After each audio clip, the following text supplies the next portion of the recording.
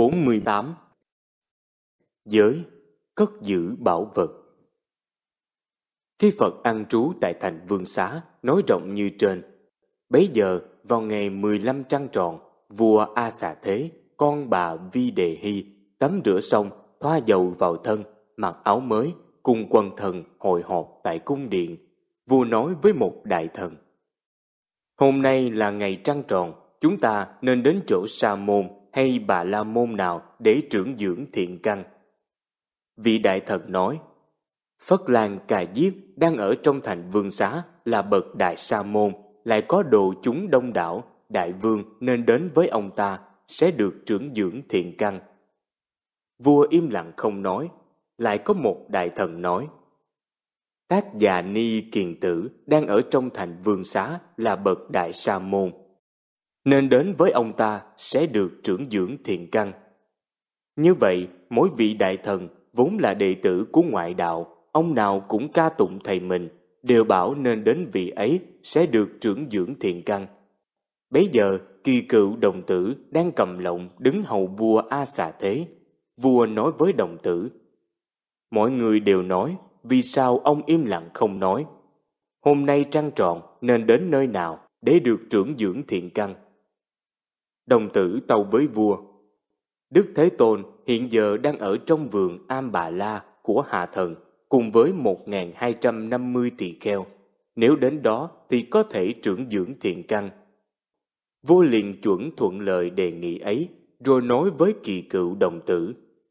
Ngươi hãy tức tốc trang bị 500 vôi cái, cứ trên mỗi thất vôi chở một phu nhân.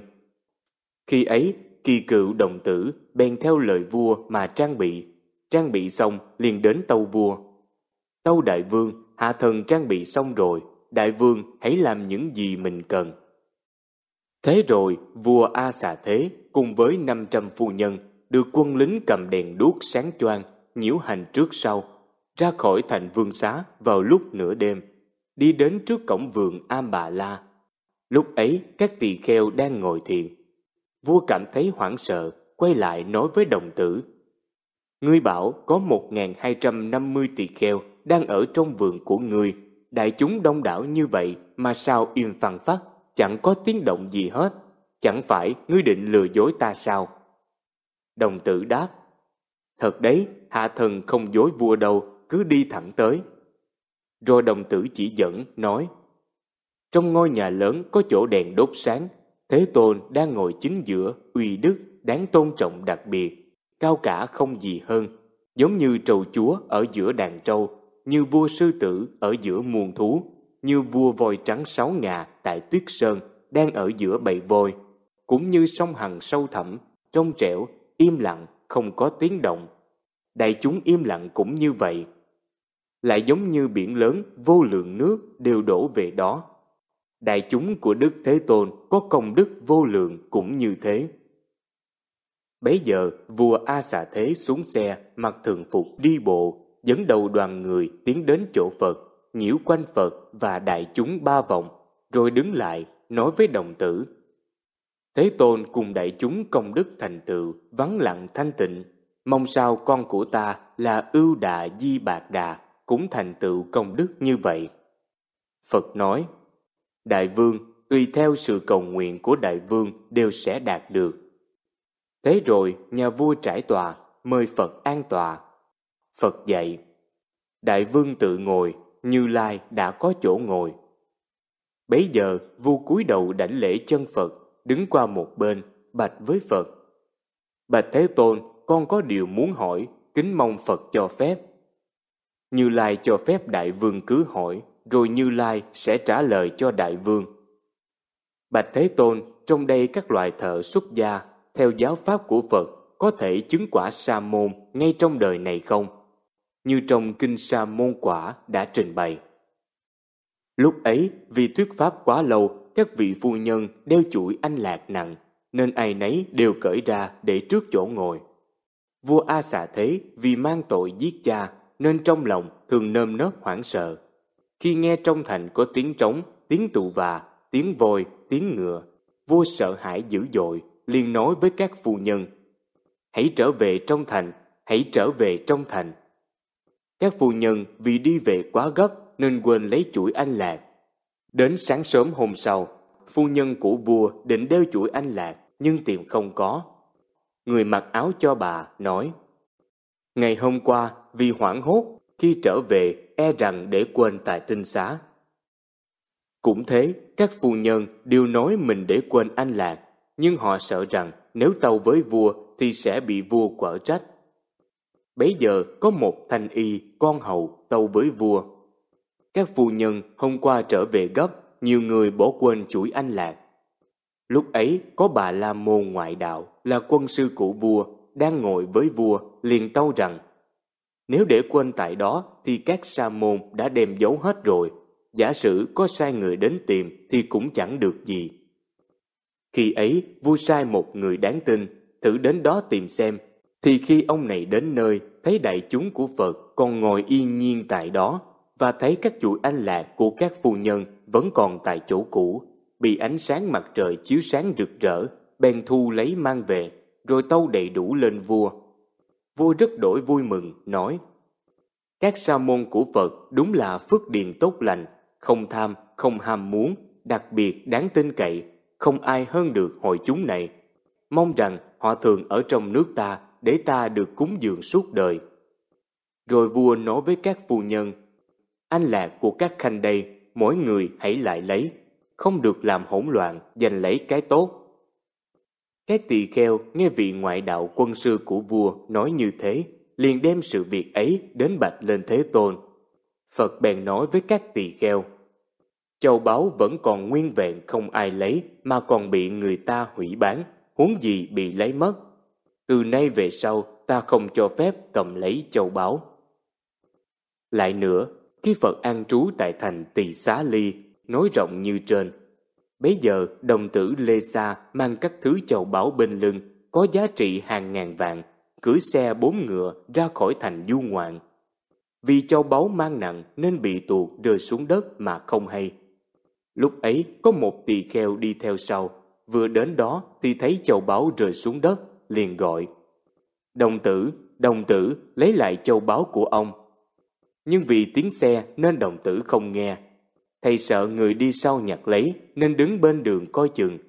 Đồng tử đi một lát liền biết bị mất cái đai lưng, bèn quay xe trở lại. Từ xa trông thấy tỳ kheo, liền hỏi. Ông đi sau có thấy cái đai lưng không? Tỳ kheo đáp. Tôi thấy có chiếc đai lưng, vừa rồi từ xa gọi ông, nhưng ông không nghe. Đồng tử lại hỏi. Ở tại chỗ nào? Thầy đáp. Tại chỗ kia kìa.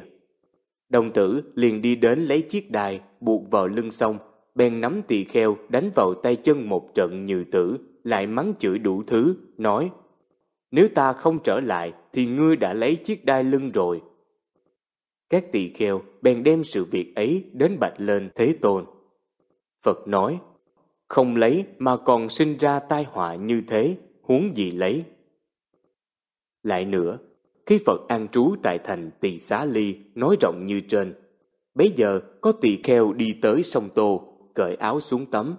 Lúc ấy có đồng tử Lê Sa cũng đến tắm sông, bèn cởi vòng đeo tay để một chỗ, rồi lấy áo tủ lên, xuống nước tắm. Khi tắm xong, anh ta lên bờ, mặc áo vào, rồi ra đi mà quên vòng đeo tay. Tỳ kheo lên sau, thấy chiếc vòng đeo tay, liền từ xa gọi. Đồng tử, đồng tử, vòng tay của ông còn để trên bờ. Nhưng đồng tử vì đi nhanh nên không nghe thầy gọi, cứ từ từ đi một đổi xa, bèn trực nhớ lỗ tai không có vòng, liền trở lại tìm. Từ xa hỏi tỳ kheo, có thấy vòng tay của tôi không? Tỳ kheo đáp, vòng tay của ông còn để trên bờ, vừa rồi tôi trông thấy bèn từ xa gọi ông, nhưng ông đi nhanh nên không nghe tiếng gọi. Đồng tử hỏi, hiện giờ ở chỗ nào? Thầy đáp, tại chỗ kia kìa. Đồng tử liền đến lấy vòng tay, đeo vào xong, bèn nắm tỳ kheo đánh đấm túi bụi và mắng. Như vậy, như vậy đó, nếu ta không trở lại thì ngươi sẽ lấy vòng tay của ta đi mất. Các tỳ kheo bèn đem sự việc đó đến bạch lên Thế Tôn. Phật liền nói với các tỳ kheo, không lấy bảo vật mà còn sinh ra tai họa như thế huống gì lấy. Lại nữa, khi Phật an trú tại vườn cây Ni Câu Luật thuộc dòng họ thích, nước ca duy la vệ nói rộng như trên. Bấy giờ có con nhà họ thích cúng dường cơm cho các tỳ kheo, cùng thân quyến dọn cơm, nhưng vì đeo vòng vàng nặng nề, dọn cơm không tiện nên cởi vòng xuyến để bên cạnh chân tỳ kheo, nói như sau. Vòng vàng này con để bên cạnh chân thầy. Tỳ kheo ăn xong bèn đứng dậy bỏ đi. Sau đó có người trông thấy liền cầm lấy vòng xuyến rồi đi. Người con dòng họ thích ấy khi đãi cơm xong liền trở về quên lấy vòng xuyến. Khi về đến nhà mới hay là không có chiếc vòng. Ông bèn trở lại chỗ cũ tìm mà không thấy. Liền đi tìm thầy tỳ kheo mà mình đã gửi, nói Thầy trả lại chiếc vòng mà trước kia tôi đã gửi. Tôi nhớ chiếc vòng ông đã gửi còn ở chỗ cũ mà, tôi đâu có lấy. Tôi gửi không đúng chỗ nên bị mất chiếc vòng.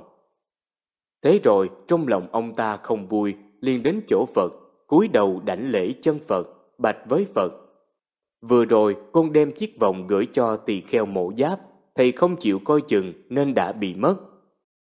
Phật bèn tùy thuận thuyết pháp cho người con họ thích ấy, chỉ bảo những điều lợi ích, khiến ông ta hoan hỷ rồi cáo lui. Sau khi ông đi không lâu, Phật bèn bảo gọi tỳ kheo kia đến. Khi thầy đến rồi, Phật liền hỏi, Ông có việc đó thật chăng? Có thật như vậy, Bạch Thế Tôn.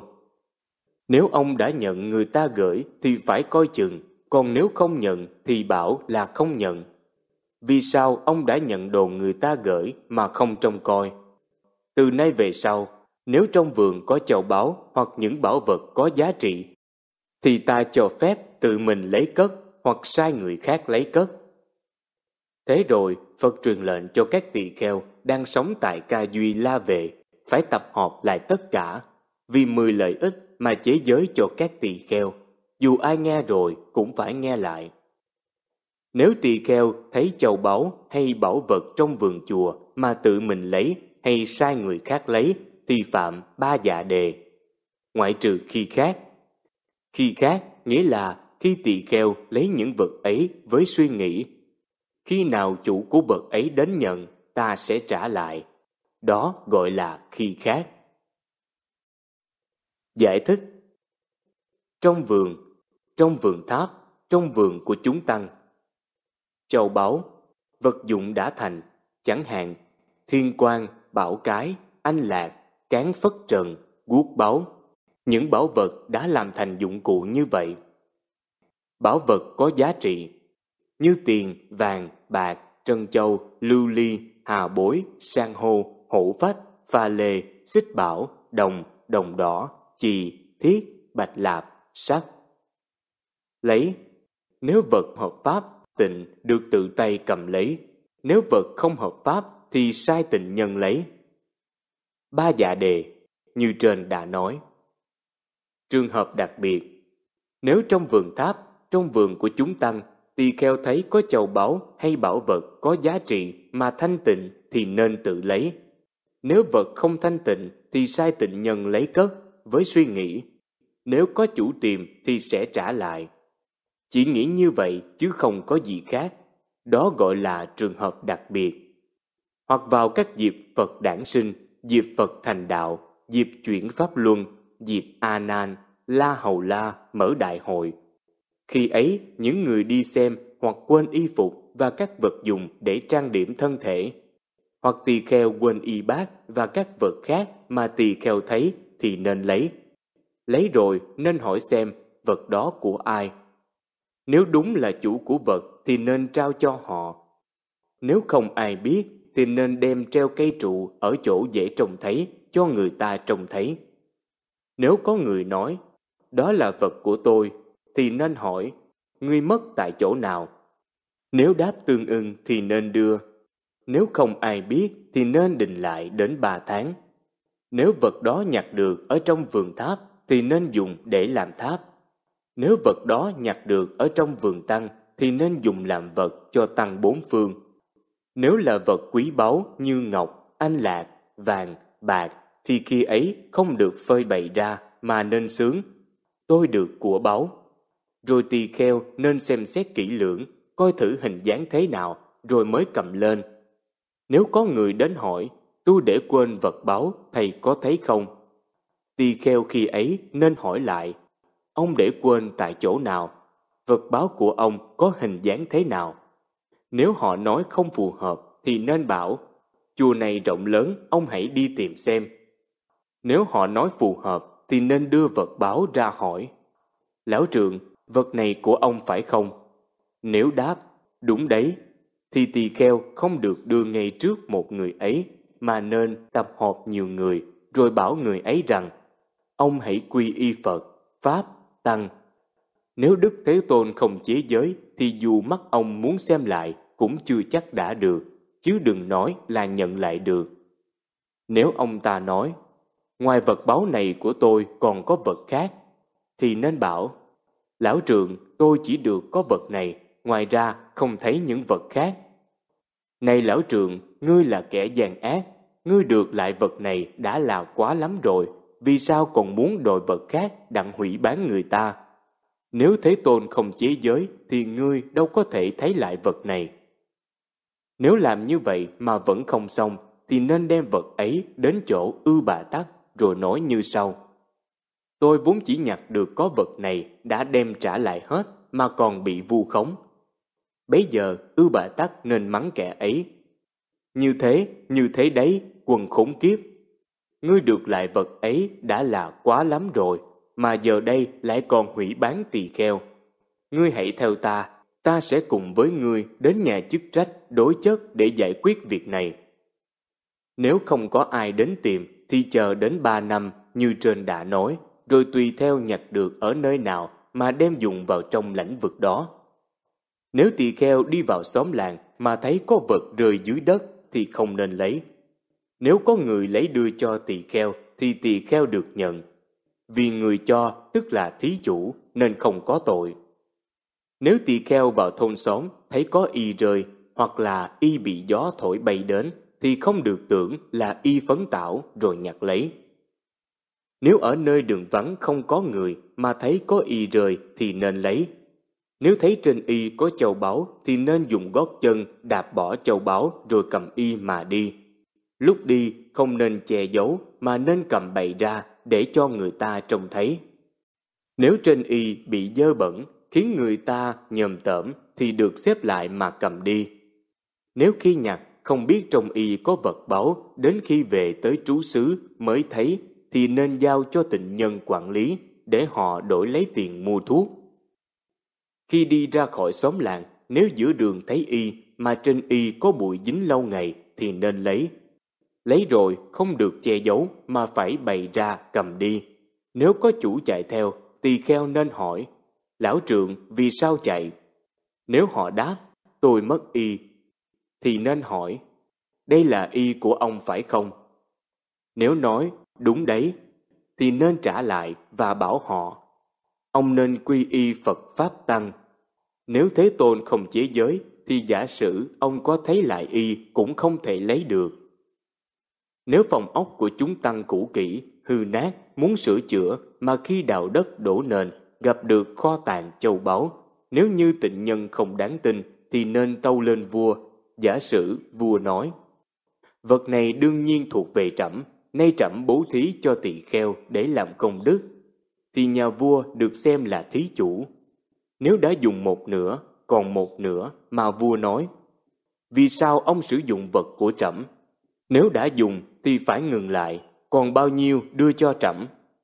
Thì tỳ kheo nên đưa số còn lại cho vua. Nếu vua nói, vì sao ông dùng vật của trẫm? Đưa hết lại cho trẫm.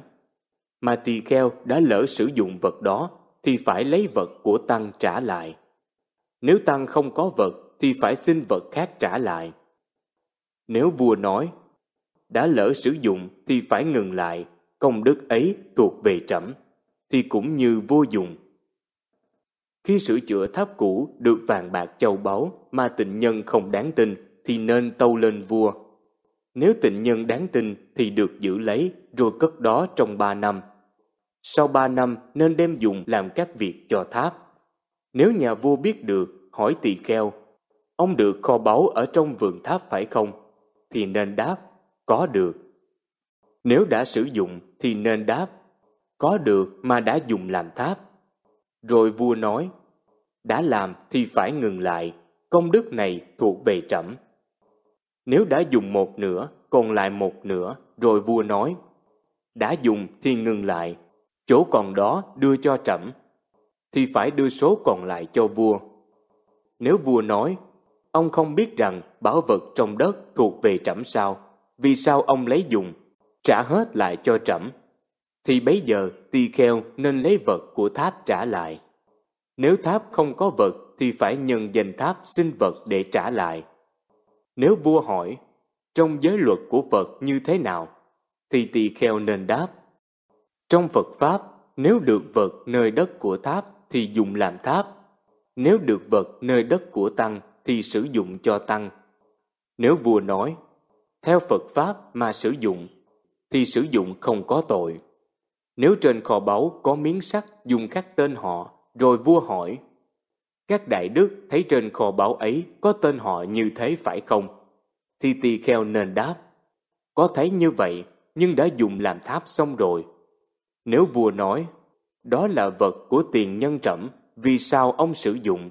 Đã sử dụng thì phải trả lại cho trẫm. Hoặc vua nói, đã làm tháp hoàn thành rồi thì công đức đó thuộc về trẫm, thì không có tội.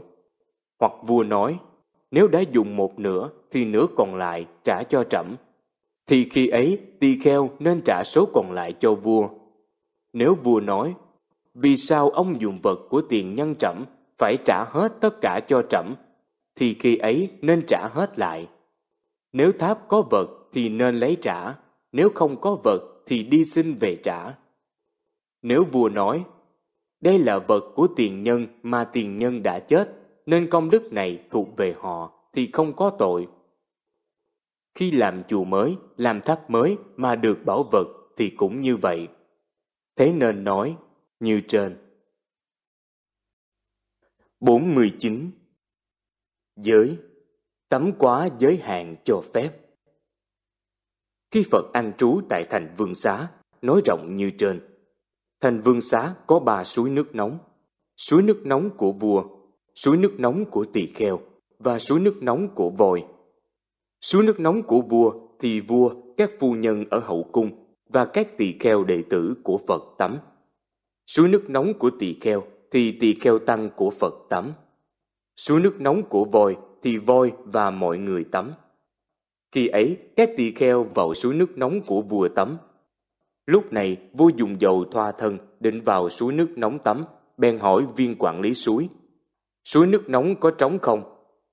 Trong suối không trống, có các tỳ kheo đang tắm. Hãy để các tỳ kheo tắm xong, trẫm đi đến Thế Tôn rồi trở về sẽ tắm. Vua liền đến chỗ Thế Tôn, cúi đầu đảnh lễ chân Phật, rồi trở về, lại hỏi người quản lý. Trong hồ đã trống chưa? Chưa trống. Như vậy, tới ba lần mà các tỳ kheo vẫn chưa ngừng tắm. Vua lại nói, cứ để họ tắm, chớ gọi họ lên làm gì. Trẫm sẽ trở về tắm trong cung. Mọi người nghe vậy đều chê trách, nói, Sa môn thích tử tự nói mình tốt đẹp, có đức hạnh mà vẫn ở mãi trong hồ, không để cho đại vương được tắm. Các tỳ kheo nghe thế, liền đem sự việc ấy đến bạch Thế Tôn. Phật bèn nói với các tỳ kheo, không ở đâu có được ông vua nhẫn nại hết sức như vậy. Từ nay trở đi, ta không cho các tỳ kheo tắm. Lại nữa, khi Phật an trú tại thành xá vệ, nói rộng như trên, bấy giờ Thế Tôn chế giới không cho tắm, các tỳ kheo không được tắm nên thân thể dơ bẩn hồi hám.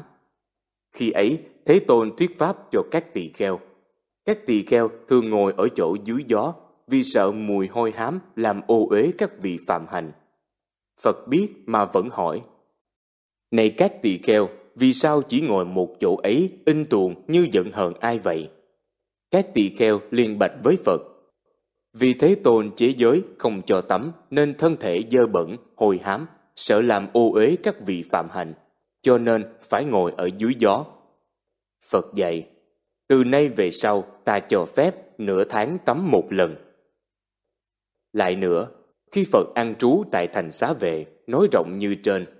Bấy giờ, các tỳ kheo tháng mùa xuân trời nóng mà không được tắm, nên thân thể ngứa ngáy, bức rứt.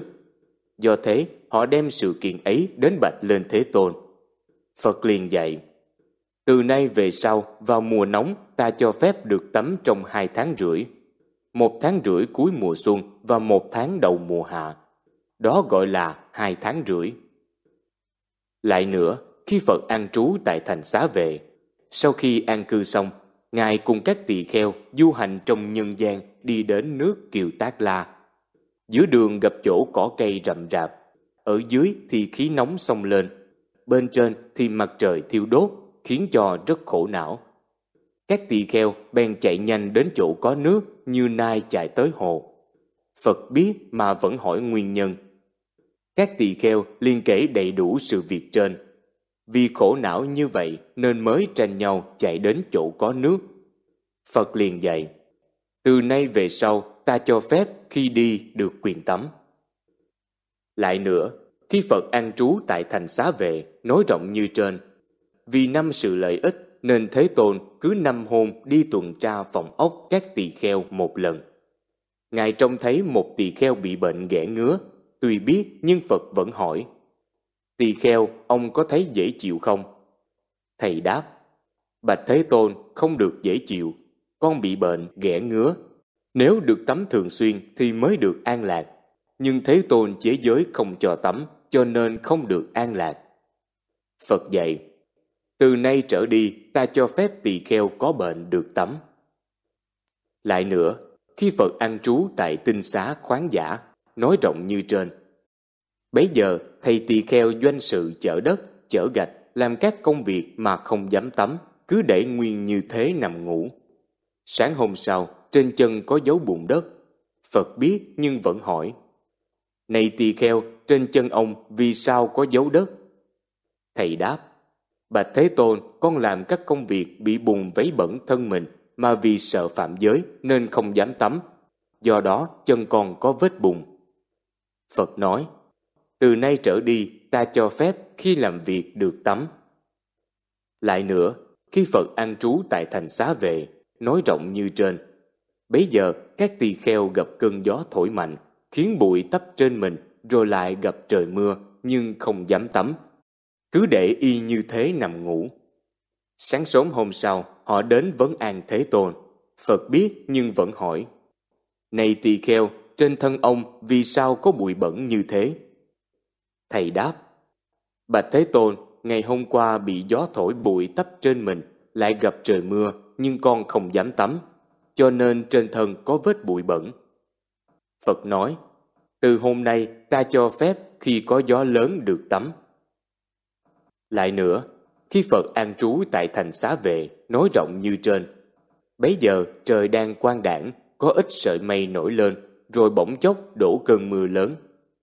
Phật nói với các tỳ kheo, đó là trận mưa tốt lành đầu tiên ở cõi diêm phù đề này.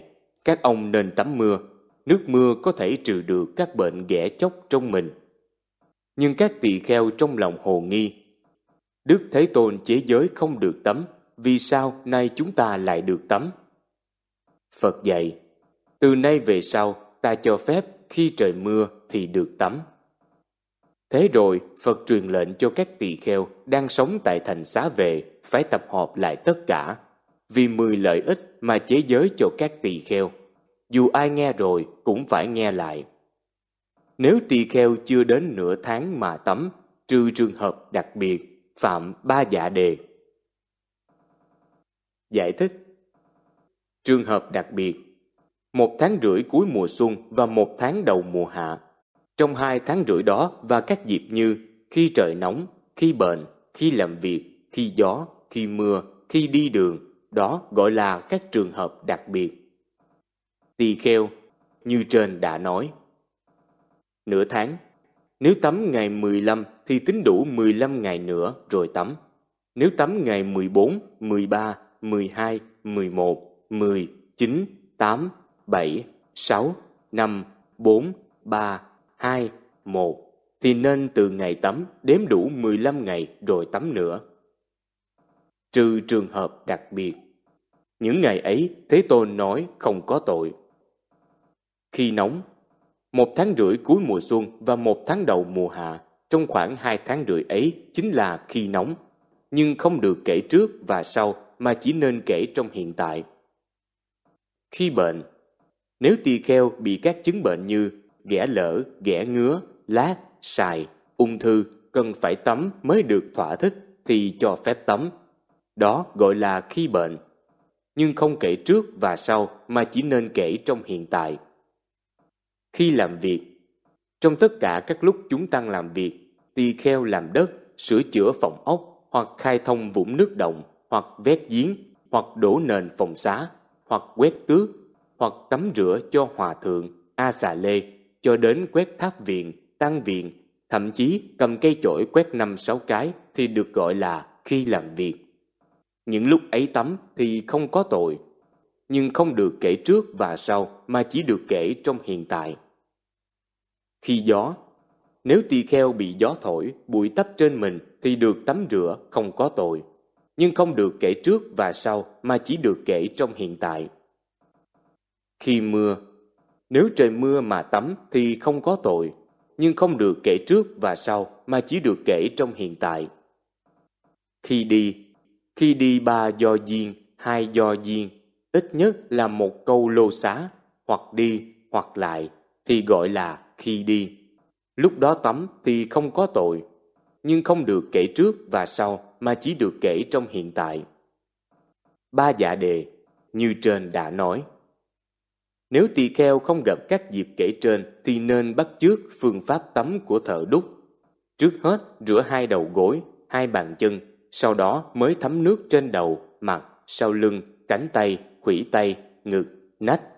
Thế nên nói kệ. Đốt lửa quá ba đêm, gửi dục vào xóm làng. Chê kinh nuôi phạm nhân, sa di y ba màu, nhặt của nửa tháng tắm Hết bạc cừ thứ năm. 50. Giới uống nước có sinh trùng. Khi Phật ở tại Tỳ Xá Ly nói rộng như trên, bấy giờ tôn giả ưu đại di đi đường, thấy khát nước đến cực độ, liền vào trong thôn tới một cô gái hỏi: "Này chị, chị cho tôi ít nước." Cô gái ấy bèn lấy nước đưa cho, nhưng trong nước có trùng, Ưu Đà Di thấy vậy, liền suy nghĩ, ta chỉ uống chỗ không có trùng này thôi. Nhưng khi uống, trùng theo nước vào miệng. Khi uống xong, thầy sinh nghi, bèn đem sự kiện ấy đến bạch lên Thế Tôn. Phật khiển trách. Vì sao ông biết nước có trùng mà uống? Đó là việc phi pháp, phi luật, trái lời ta dạy, không thể dùng việc đó để nuôi lớn thiện pháp được.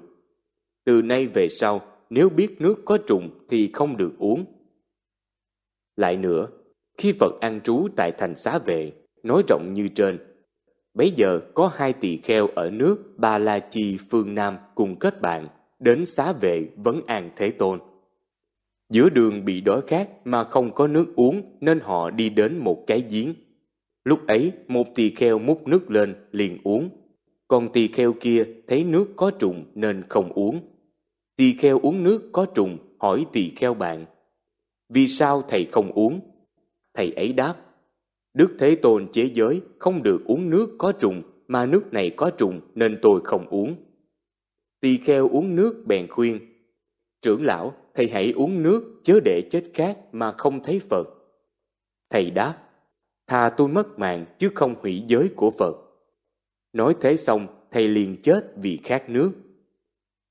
Thầy tỳ kheo uống nước dần dần đi đến chỗ Phật, cúi đầu đảnh lễ chân Phật rồi đứng hầu một bên. Phật biết nhưng vẫn hỏi. Tỳ kheo, ông từ đâu đến? Con từ nước Ba La Chi đến. Này tỳ kheo, ông có bạn không? Chúng con hai người cùng kết bạn, nhưng đi được nửa đường thì bị đói khát mà không có nước. Chúng con đến một cái giếng, nước giếng có trùng, con liền lấy uống nhờ có sức nước mà con được hầu cận Thế Tôn. Còn thầy kia giữ giới không uống nên đã chết vì khát nước. Này kẻ ngu si, ông không thấy ta mà tưởng rằng được thấy ta, còn tỳ kheo chết kia thì đã thấy ta trước rồi. Nếu tỳ kheo phóng túng biến nhát, không thu nhiếp các căn, thì dù ở với ta một chỗ, nhưng tỳ kheo ấy cách ta rất xa. Tuy ông ấy thấy ta, nhưng ta không thấy ông ấy. Trái lại, nếu tỳ kheo sống nơi góc biển chân trời mà không phóng dật, siêng năng, không biến nhát, thu nhiếp các căn, thì tuy cách xa ta mà ta thường thấy người ấy và người ấy thường gần ta. Thế rồi Phật nói với các tỳ kheo đang diện kiến, đó là việc ác, phi pháp, phi luật, trái lời ta dạy, không thể dùng việc ấy để nuôi lớn thiền pháp được. Từ nay về sau, khi biết nước có trùng thì không được uống. Đoạn, Phật truyền lệnh cho các tỳ kheo đang sống tại thành xá vệ phải tập hợp lại tất cả, vì mười lợi ích mà chế giới cho các tỳ kheo. Dù ai nghe rồi cũng phải nghe lại. Nếu tỳ kheo biết nước có trùng mà uống thì phạm ba dạ đề. Giải thích Tỳ kheo, như trên đã nói, biết hoặc tự biết hoặc nghe người khác mà biết. Trùng không phải là cá, rùa, thất thâu, ma la, mà là các côn trùng nhỏ bé như con lăng quăng cho đến những loài có hình thù cực nhỏ mà mắt thấy được đều gọi là trùng.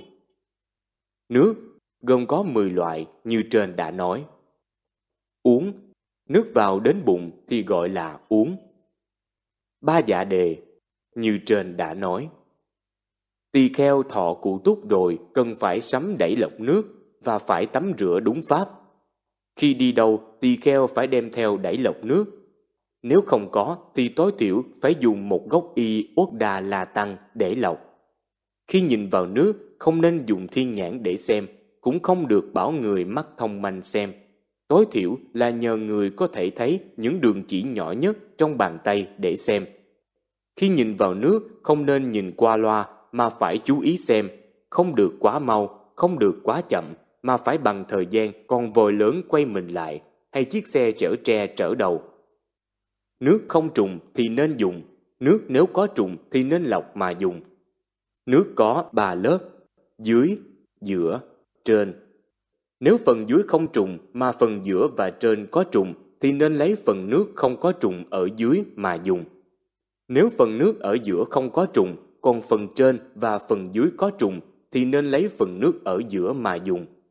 Nếu phần trên không có trùng thì nên lấy phần nước trên mà dùng. Nếu phần trên có trùng thì nên dùng tay vỗ nước để cho trùng lặn xuống đáy rồi lấy nước dùng. Nếu cả ba phần đều có trùng thì lúc ấy nên lọc nước mà dùng. Nếu trong nước có trùng quá vi tế thì không được dùng rửa tay, rửa mặt và dùng dội cầu khi đại tiểu tiện. Nếu nhà đàn Việt mời tỳ kheo thọ trai thì khi ấy nên hỏi Ngươi đã lọc nước chưa? Nếu đáp chưa lọc thì nên xem xét người đang đối diện mà tin tưởng được. Khi ấy hãy bảo họ lọc nước. Nếu xét người ấy không đáng tin thì không nên sai họ lọc, kẻo sẽ sát hại côn trùng. Tỳ kheo nên tự lọc rồi dùng.